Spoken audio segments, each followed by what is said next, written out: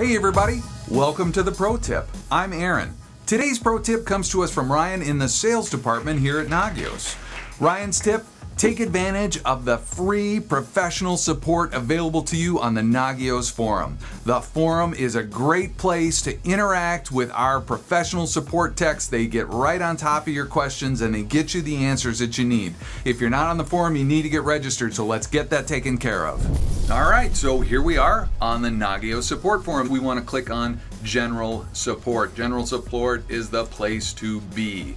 In General Support, we can choose the solution we're looking for some help with. Is that XI? Is it Log Server? Is it Network Analyzer? Is it Fusion? Or is it Core? You can click through to those boards, you can read previous posts, you can see our responses, you can search, you can do an advanced search, but here's the money right here, the register link. So let's go ahead and get you registered.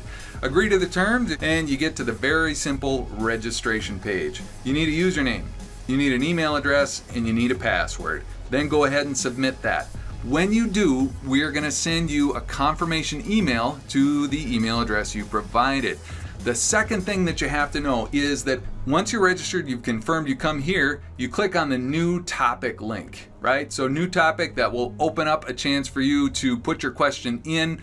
We review those before we put them up live on the board just to make sure that they're in the right section and that they're on topic. But once you get that done, you're ready to interact directly with our support techs. Do you have a pro tip that you'd like to share? Please go ahead and do share that with us in the comments below this video. And don't forget to subscribe so that every time we put up a new pro tip, you're sure to get it.